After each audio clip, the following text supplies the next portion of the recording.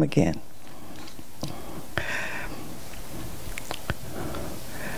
Father God, I just thank you today, Lord God, for this opportunity to stand before your people. I thank you, Lord God, that it be all of you and none of me, Lord God. I thank you, Father God, for the strength that you give me right now, Lord God, to minister to your people. And I thank you for this word that you have given me, Lord God, that is doing something to help me, that it will help the body of Christ, Lord God. I thank you, Father God, for our pastor, Pastor Melvin Silas, Lord God. And I thank you, Father God, for this opportunity that he has given us right now, Lord God.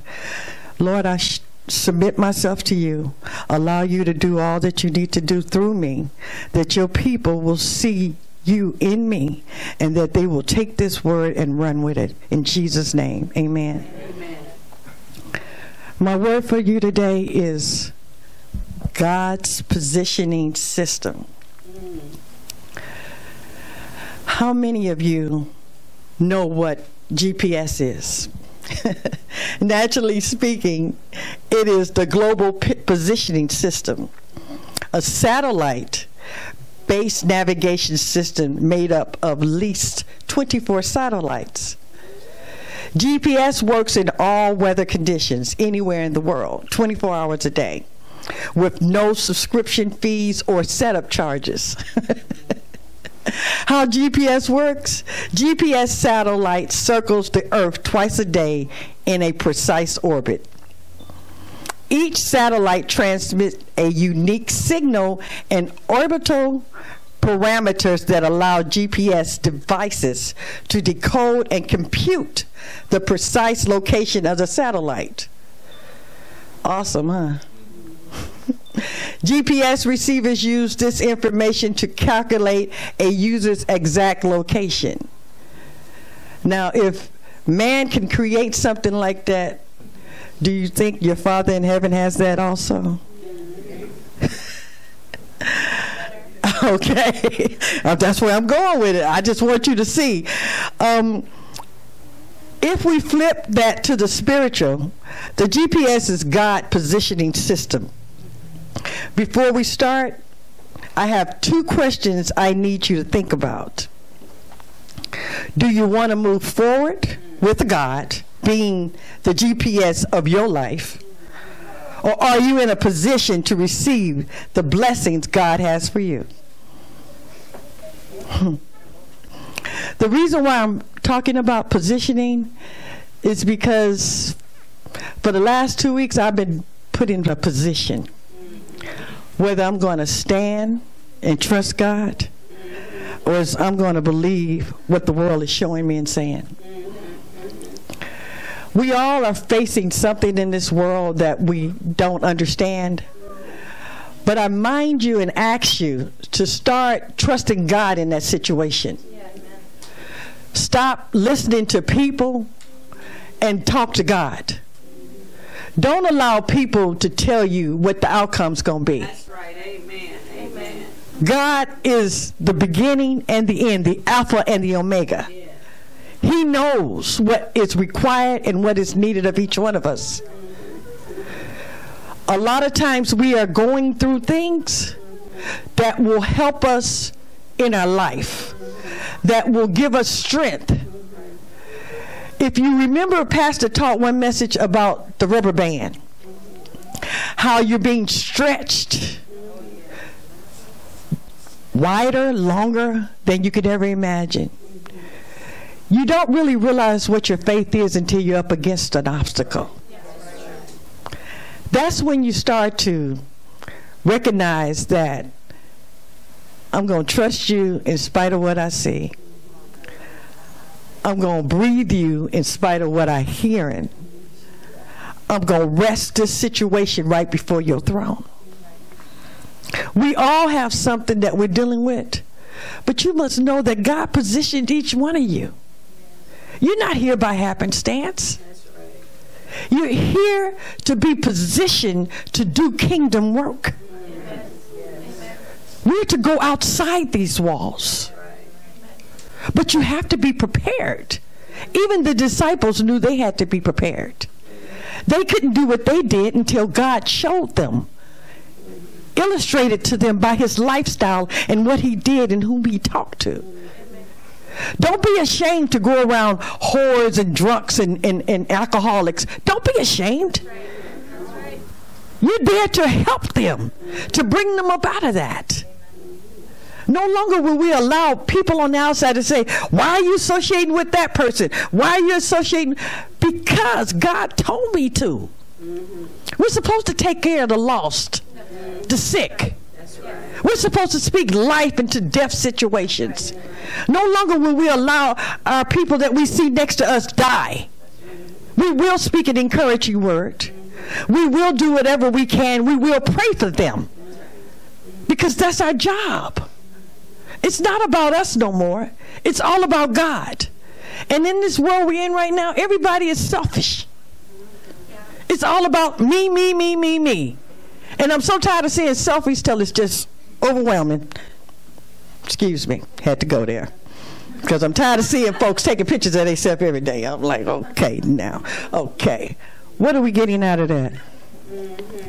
That's vain repetitious. That's not good. That's not God. That's not God at all. But as I go through this, I realize that God had a plan for each one of you. And a plan that you did not even know nothing about. You think that dream of owning your own business came out of you? You think that dream of being a mayor came out of you? You think that dream of being an evangelist came out of you? No, it was all God. It was all God. And as I go through this, I learned that I give God more thankfulness of what He's doing in my life because He used me, but it wasn't really me. It was the God in me. And, and the only way we're going to get to see what God has for each one of us, if we start allowing God to do what God needs to do with each one of us.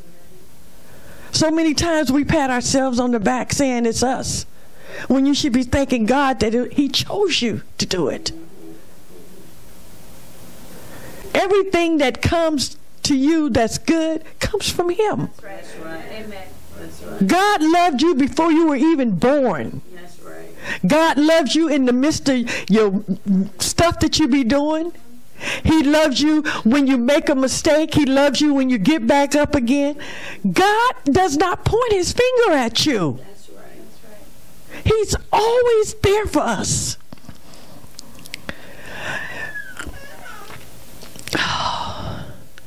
Scripture tells us that when we accept Jesus Christ as our Lord and Savior, we become a new creation. 2 Corinthians 5 and 17.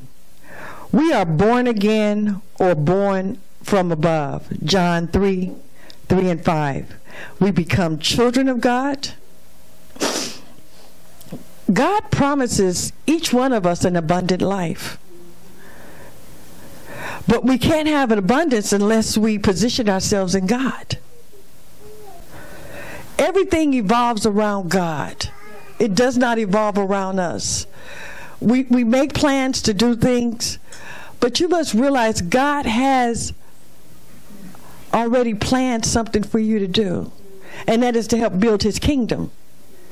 You can't keep doing it your way and sitting up under the word and not know that he's telling you there's another direction he's trying to take you in. And in order for you to get to that direction, you're going to have to submit. I didn't understand it, but when Pastor Mel got sick, I understood what positioning is. I had to recall other pastors' wives that I've seen had to stand when they didn't know what to do. They stood on the Word of God. I don't need to talk to nobody but God. That's right. That's right. That's right. That's right. God will do what God needs to do. And you know, when I took him to the hospital, God was speaking in my ear all the whole time. He was saying, this is what the problem is. And I didn't tell the doctors nothing. I just listened. I said, well, he need this, this, this, this, this. He said, oh, no, he don't need that. I said, yes, he do. He said, well, we, will see about it. I said, mm-hmm. When the Holy Spirit tells you something, ladies and gentlemen, don't ignore it. Don't ignore it. Listen. He's positioning you for something greater, bigger, better. Adhere to it. Do it. We all think that we're in the right position right now, but we're not. Are you praying consistently without ceasing? Are you thanking God for putting breath in your body this morning? Just as something as simple as that. There's somebody that didn't wake up this morning. There's somebody that woke up this morning and half of their body is not moving. We have to stay positioned. Right now, it is very vital that we stay positioned because the world is turning to self. So we as body of Christ need to continually pray, trust God, and don't look where we at, but look where he's taking you to. Stay focused on what he's taking you to. Don't let nobody sway you. Never. Trust God. I don't know why I'm going there, but hey, God knows what he's doing with me right now. My main scripture today is In the hearts, humans plan their course, but the Lord God establishes your steps. That's Proverbs 16 and 9. In the hearts of humans, plan their course. But the Lord establishes your steps. You can make all the plans you want to make. but he got the last say so. That business you want, you better get on your knees and start talking to him you better start praying about it. And I like that we pray at home by ourselves, but a lot of times we need to do corporate prayer. That's how we get things done. You can't do it in your house by yourself. We all have to come together on our knees before the throne of grace and ask God to intervene, to do what needs to be done. He can do the impossible. He's done it before. The same that he did for the showed the disciples. He said, We're gonna do greater, even bigger things than they did. But we have to trust the process. We have to keep our ear open to what he's saying. We have to keep our eyes open to what he's showing us. Keep looking up to heaven. Don't look down, don't look to the left, to the right, but look up to heaven. Heaven has the answer. We keep trying to figure it out ourselves. We can't do that. We're out of order. Even me. And, and I, like I said, I had to recognize that God was positioning me in, in a place that I felt I was unworthy of, that I should not be, that I should stay in the back. But He says, You got something to say too. You got a word for people? Lean not to your own understanding, but in your all your ways acknowledge him. He will, he shall direct your path. We keep trying to do things in our flesh, and God says, I need you all to be in spirit. Everything done is in the spirit realm. Yes, it is. People don't see it, but you see it. Fab had a dream that she was pregnant, and she seen the baby. That's God. Didn't nobody show her that, but that was a gift that he was placing inside of her, a plans that he was placing inside of her. But he was showing her. So now she needs to say, Lord, what would you have me to do with what you've shown me? Yes, yes. How do you want me to go about what you show me, Lord God? Which direction do I go in, Lord, with this gift that you just shown me? How do I make it materialize into the earth realm?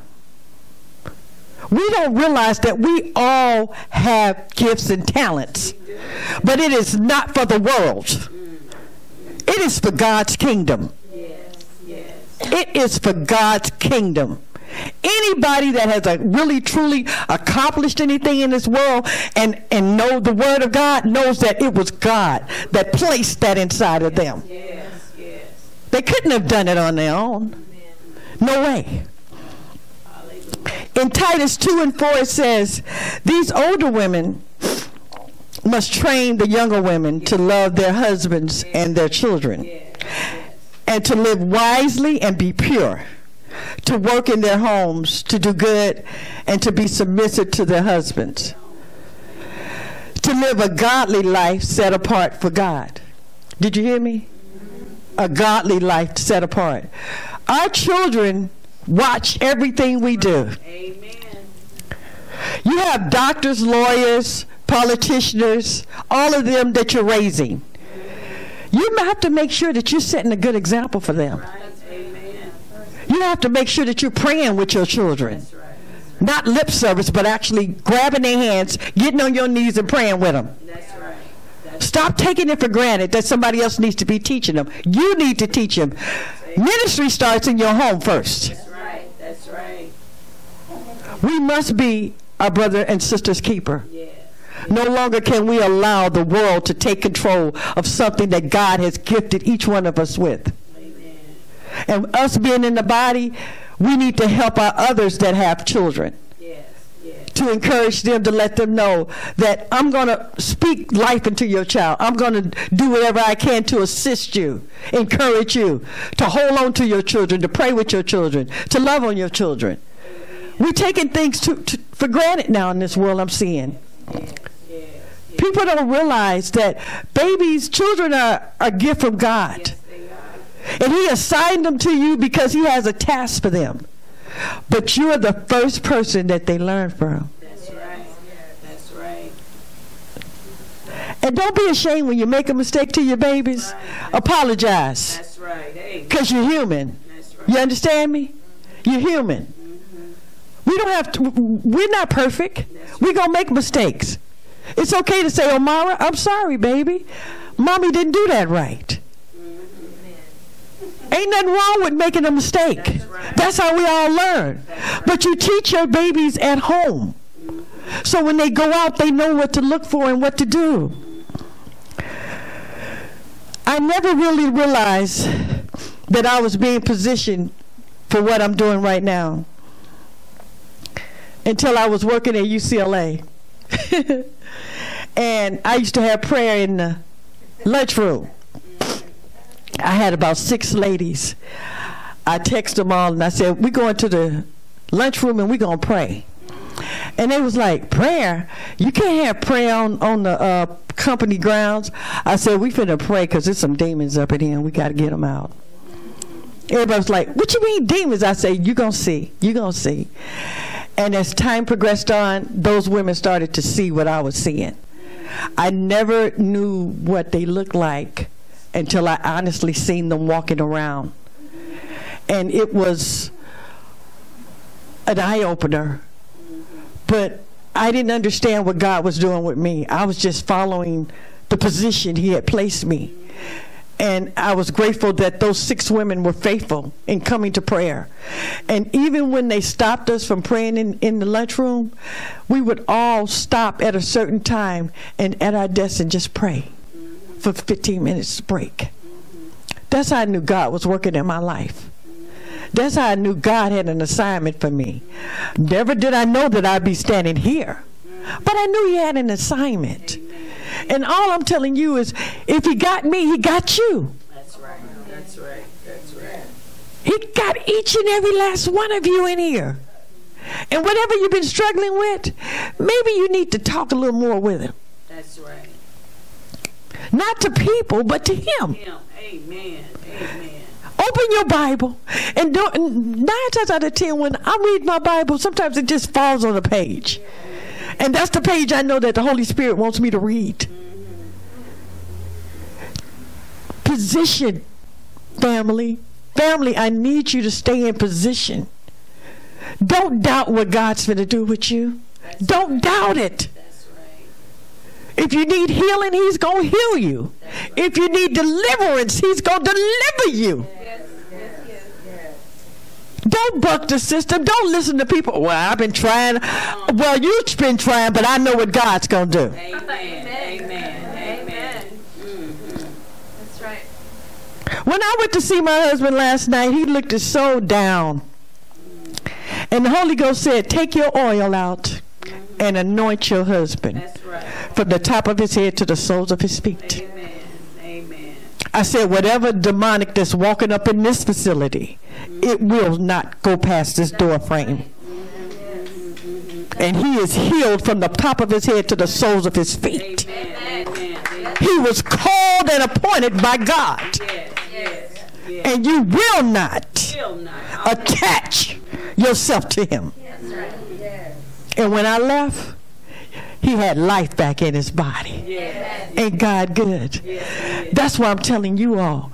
We all are positioned to help somebody. That's We all are here to pour into somebody, to strengthen somebody, to lead them the right way, not the wrong way, the right way. Remember, we all are, are, are living vessels for God. We, we have to be an example for God. Yes. We can't keep doing it our way. That's right. I tried it, it didn't work. Yes. Yes. It's not prosperous, nor is it healthy. Mm-hmm. And it sure don't give me a seat up in, the, in heaven. That's right. That's right. and I know we all want to go to heaven. Mm-hmm. Ain't nobody just sitting here, right? Amen. Praise God. Thank you, Jesus. Hebrews 11 and 6 says, But without faith, it is impossible to please Him. For he who comes to God must believe that He is a rewarder of those who diligently seek Him. In order to experience the supernatural life in Christ Jesus, you need to correctly position yourself. You must position yourself to receive the full benefits of God's wonderful promises. Our first thing in positioning ourselves is we need to have our ear gate open. I noticed back in the day, I used to always get on the phone and call my girlfriend when I had an issue. And nine times out of ten, it wasn't the right word. But thanks be to God, He placed me with eight mature women in God that told me the right thing to do. We get fearful, we get anxiety in us, we, we get concerned. But the only one that's going to answer you truly is God. See, I've been dealing with a lot of stuff this week. I got bit by an insect. My hand swelled up three times the size it was. Went to the doctor. He said, Oh, that's gout. I said, The name of Jesus. No, it ain't. Who you playing with? He looked at me. He said, Oh, it's not. I said, No, it's not. I said, I had an allergic reaction to the insect that bit me. And I need something to stop the itching and the swelling. Gout anyway. I said, Yeah, that's the same thing y'all said about that diabetes. I said, but I don't take your your medicine no more neither. He said, you don't? I said, no. He said, well, we got to test you. I said, well, you can test me. I said, but God got this one too. he said, what? He said, I said, sir, no offense to your profession. I'm grafted in Jesus Christ. Jesus don't have it, and I certainly don't have it. I will not allow people to speak in my life something that's not so. That's right.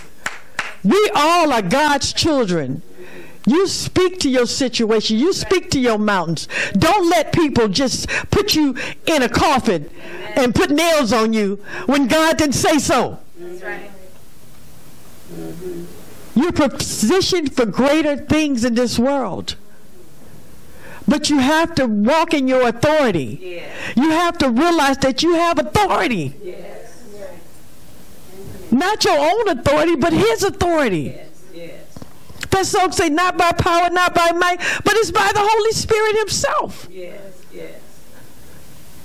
You understand that they give you diagnoses and things of that nature, but you say, you know what, I'll take that into consideration. But the truth of the matter is, I'm healed by his stripes. We go there to get information, but we don't have to actually accept it. We're killing off our own selves by allowing them to speak a word. Remember, life and death is in the power of the tongue. Don't receive it, people. Please. Don't receive it. Know that God gifted you with his wisdom knowledge. That you can speak against those things that's in this world realm. You want life more abundantly. You want to be able to pass it on to your children's children's children. Do not allow the enemy to just cut you off. Trust the process. Trust the position in which he has you in right now. but truly, he's got great things in store for you. He got great things in store for you. Praise God. Whatever situation you cannot be free from, or anxiety unless you hear from God. Romans 10 and 17 says, So then faith comes by hearing, hearing by the word of God. Notice, no hearing, no faith. Now you can't tell me you've been here this long and that you don't have enough faith mm, mm, to mm. overcome some of them obstacles that you've been dealing with. The word says to speak to that to that mountain and be thou removed. But I also need you to believe it. Mm-hmm. Yeah, it's going to keep coming up in your life. But as long as you keep saying, Lord, I trust you mm-hmm. for the process. Lord, I thank you for the outcome. Lord, I know your will is working on this. I know I'm victorious because of what you did for me. I know through all things, you're in total control. I will trust you. I will trust you. We cannot do this on our own. We've tried it. We've done it what the world did, but we, we didn't get any re- good results from it. You want to leave a legacy to your kids, your grandkids. You just don't want to be just having what you have now and don't leave nothing for them. That's right. That's right. You want to leave something that they'll be proud of to say, to talk about, mm-hmm. that they can help somebody else. Mm-hmm. We all are here to help one another. We cannot do this on our own. The second thing we need to adhere to is the Word of God. Christians are called to be overcomers. Most of us seldom act like overcomers, though. God has given us everything we need for life and godliness, which is in 2 Peter 1 and 3. But most of us often seem to feel defeated by circumstances or by our own inadequacies. Like I told you, my inadequacy was I don't need to be up here. I'm going to sit down there and help and do whatever I can down there. But God says, no, I got something else for you to do too. You have to help build my kingdom too. And if what I'm doing is, is, is helping you to see where God is leading you, then do so. But don't do it today and forget about it tomorrow. That's right. See, that's what I'm saying. We have dreams and, and we keep those dreams before us. But I need you now to start keeping the word before you. Because the word is what's going to get you to where you need to go. Amen. Amen. Everything on TV is negative. Everything that we see on television is negative. It's so negative we can't even let our children watch TV. We have to sit there and watch it with them. to make sure nothing out of the norm is showing up Right, right. while the TV is playing. I mean, I used to watch movies and I'm like, oh Lord, it wasn't showing that before. So now you have to be very conscious Yes, you do. of what you see and your children see.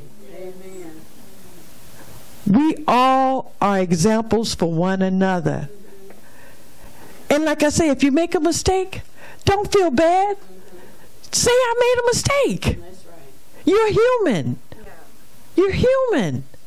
Why do we feel as though we have to say, no, I didn't? Yes, you did make a mistake. Because you let the devil beat you down when you hold it in and don't confess that I made a mistake. We learn teaching each other. There might be something you're doing that you could teach me about, and something I've learned that I could teach you about.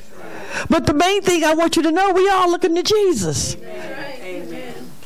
We can't do this without Him. Amen. I try very hard to recognize that being in position, you have to do things out of the norm. Yes, yes, yes. That's a yes. Yes. You have to go above yourself. And no offense, put them big girl undies on and straighten yourself up and say, you know what, and go on. I mean, sometimes you don't like to be in certain positions, but it's in order for you to grow, you have to be in that position. That's right. That's right. You have to be in a tight spot to know that God is truly working on you That's right. and working through you. Every one of us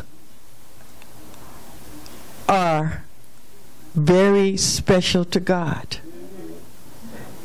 He has a lot in store for each one of us. Yes, he does. Yes, he does. And if you keep your ear to Him and your heart right, That's right. He will get you to the position that He has for you. Amen. Amen.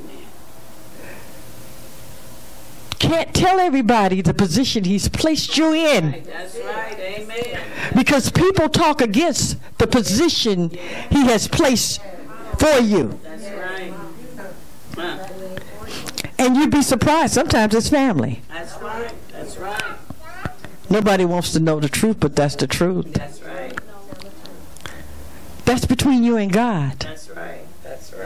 And as He's directing you and ordering you and connecting you with the right people, you keep talking to Him, and He'll get you to where you need to be.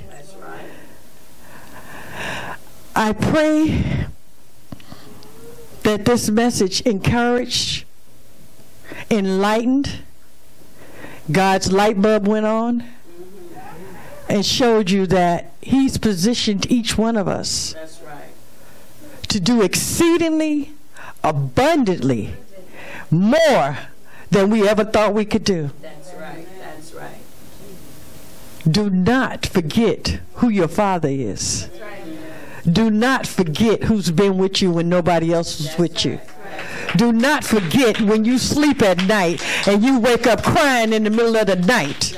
Who's holding you? Who's who's talking to you? That's right. Do not forget Jesus. Amen. That's right. He loves each and every one of us. And he is truly worthy. Truly worthy. Truly worthy. Your position is in God. Keep your eyes on Jesus. Keep your feet firmly planted in the Word of God. Because that's what's going to help you Yes. to go to the next level. Yes. It's time for us to go to another level. Yes. No longer will we keep doing what we've been doing. We will reverence God. We will acknowledge Him and we will keep seeking Him to do all that He needs to do for each one of us. My last scripture is Psalms 25, 4 and 5. Praise God. Show me your ways, Lord. Teach me your paths. Guide me in your truth and teach me, For you are God, my Savior, and my hope is in you all day long. Family, I know we're being positioned for healing, deliverance, financial breakthroughs, open doors of opportunity, businesses, promotions. All of that's being given to you right now. Make these next two months be exceptional in Him. May the Lord bless you all. Father God, I thank you for our viewers and listeners of this word today, Lord God. Let you be glorified and magnified in everything that I've said, Lord God. And I thank you, Father God, for this opportunity. I thank you, Father God, for my family here at the Great I Am Faith Center, Lord God. For I have to stand before them first before I can stand before anybody. That you will use me to teach them that you've got a position for them and you're ready for them to take part in it. In Jesus' name, I thank you. Amen. Amen. Y'all know, y'all know, y'all know, y'all know, y'all know, y'all know, y'all know, y'all know. Lord God, that was much. Yes. Yes. That was.